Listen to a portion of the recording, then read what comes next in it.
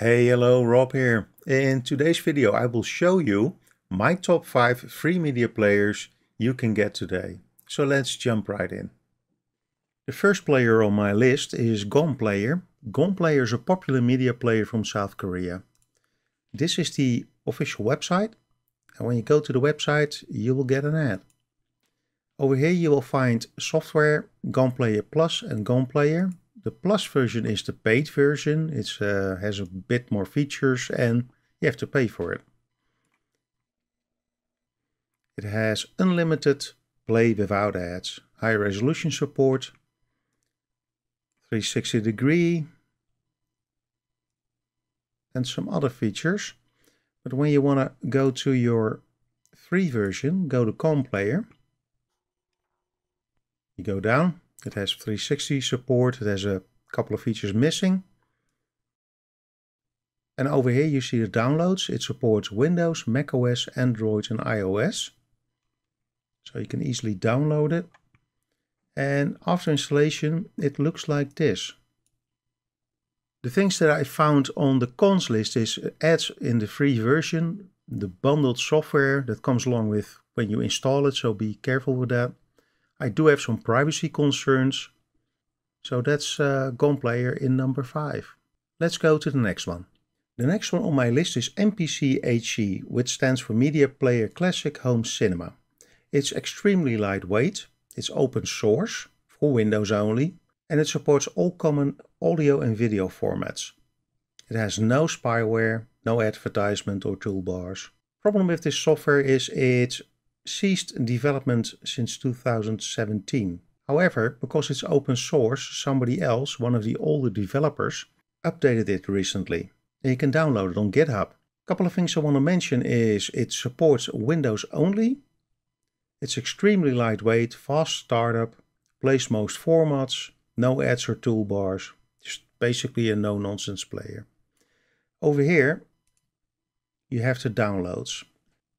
And after you install it, it looks like this. A clean, simple interface that runs on basically anything and everything. This is the 64-bit version, but like you can see, you have 64-bit and you have the older versions. Let's have a look at the next one. The next one on my list is PotPlayer. PotPlayer is developed by a South Korean company. PotPlayer is Windows only. They have a 32-bit and a 64-bit version. They run back all the way to Windows 7 up to 11. A couple of things that stand out is enhanced hardware acceleration, so that's a nice thing to have. It supports various types of 3D glasses, so that's an interesting feature to have. On my pro list I have an excellent performance, high quality playback, built-in codecs, 360 video support and continuous updates. On my con list I have a Windows only. It's a bit overwhelming for beginners. The default skin is dated and no media server functionality. After you download it you can install it. Install additional codecs. Yes please, run PotPlayer. And this is what it looks like. The next one on my list is KMPlayer. KM Player supports multiple platforms like Windows 32, 64 and other platforms. And when I go to, let's say, the 64-bit version, you see, you see it supports up to 8K video. That could be an interesting thing to have, especially when you record yourself in 8K. KMPlayer 64-bit is free. If you can buy them a coffee, I mean, they need some support, right? They have a list of key features it's free download with no ads, free media player, no advertisement, no spyware, no user tracking. That's important. Plays all video files and it has a lot of other extra features.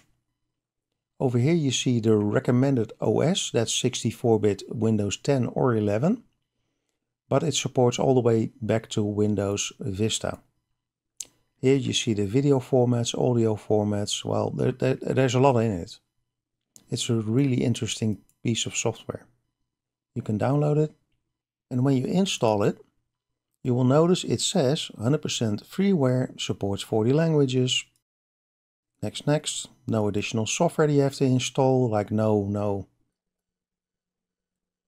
And that's the way it looks. It's quite interesting piece of software and I, uh, I enjoy it. And in the number one spot on my list is the VLC Media Player. VLC Media Player is an open source cross-platform multimedia player. It can do it all on everything. Windows, 64-bit, macOS, Linux, Android. Do you have another system? It works. On my pro list it says no extra codecs needed. It's highly customizable. It's open source. It's completely free and safe. Hardware decoding so it uses your GPU for playback.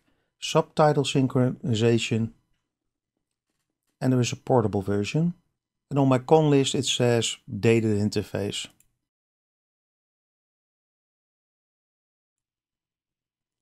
And this is what it looks like. It's my number one player. I really, really, really enjoy this player and I've been using it for many, many, many, many years.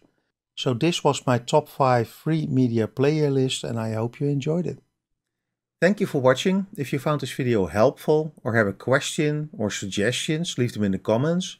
Don't forget to hit the like button to help the channel out, share with a friend and subscribe for more tech tips. See you in the next one. Bye bye.